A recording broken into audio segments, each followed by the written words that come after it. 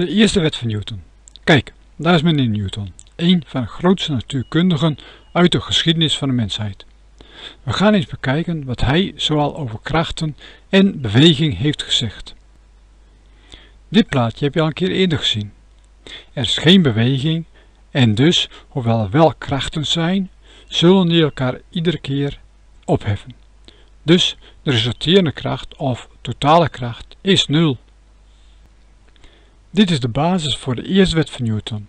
Die zegt, als de snelheid 0 is, dan is de resulterende kracht ook 0.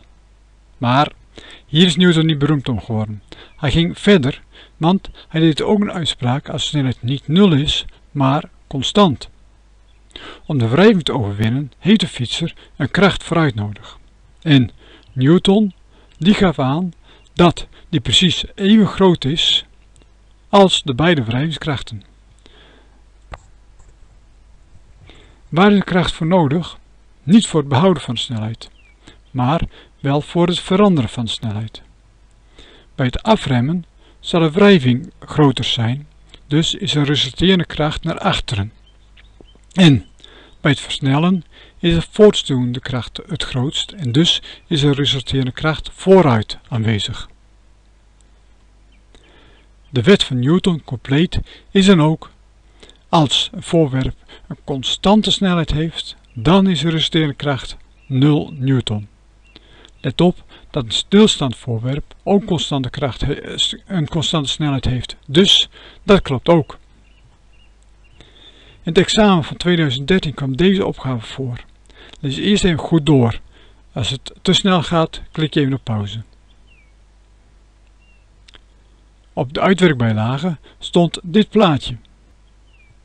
En hier moest je dus een wrijvingskracht bij tekenen. Heel veel leerlingen tekenden een iets kleinere kracht omhoog dan de zwaartekracht zelf. Want de skydriver zou anders nooit naar beneden kunnen vallen. Dat is fout. Want de eerste wet van Newton zegt, omdat de snelheid er constant is, is er dus geen resulterende kracht nodig. En dus moeten beide krachten even groot zijn. Een ander voorbeeld. Iemand trekt een slee met een constante snelheid voort. Natuurlijk is er wel een wrijving en dus moet er wel flink getrokken worden. De vraag is, hoe groot moet die kracht zijn? Om deze vraag te beantwoorden gaan we eerst eventjes die tekening een beetje nou, moderniseren, een beetje uitkleden. Die slee die veranderen we in een stip. En het koord die veranderen we in een werklijn voor de trekkracht. Die persoon zelf hebben we ook niet nodig.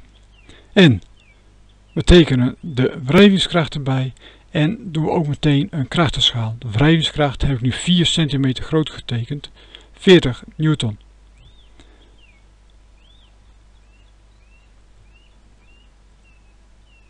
Ten slotte, wat werd gevraagd? De kracht werd gevraagd. Hoe groot is F trek? Een gegeven wat we nog niet hebben opgeschreven gaat over snelheid. Niet de grootte hiervan is van belang, maar wel dat de snelheid constant is.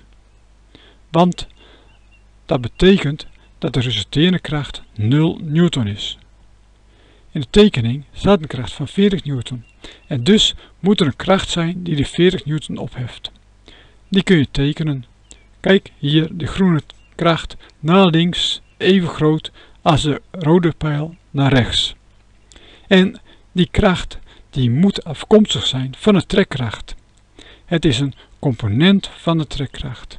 En je kunt dus een lijntje tekenen zodat je weet hoe groot die trekkracht moest zijn geweest. De trekkracht kan dus op de juiste lengte nu worden getekend. En nu we de juiste lengte hebben getekend, meet je de lengte op. Die blijkt 5,2 centimeter zijn. En dus moet de slee met 52 newton vooruit worden getrokken om hem op een constante snelheid te laten bewegen.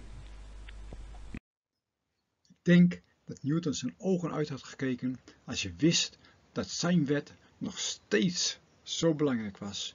En dit was zijn eerste wet nog maar. De tweede wet komt eraan.